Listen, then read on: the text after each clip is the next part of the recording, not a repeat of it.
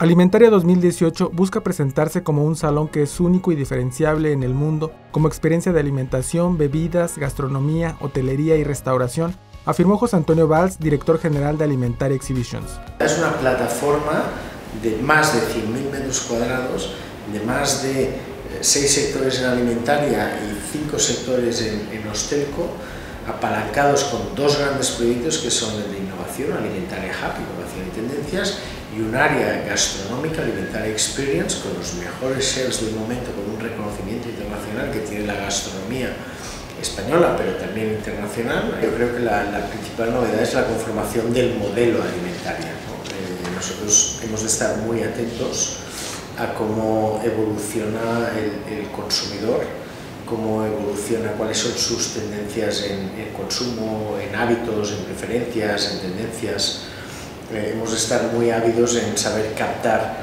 eh, hacia dónde se mueve la oferta, los fabricantes, que son nuestros expositores, y hemos de estar muy ávidos en conocer eh, cuál es, la, evolución de la cadena agroalimentaria. ¿no?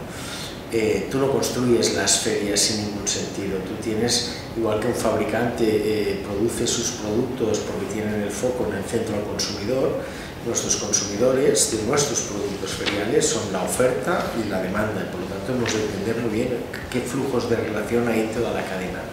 A partir de ahí creas modelos de feria, la reconceptualizas cada año y vemos que está tomando o cobra mucha fuerza.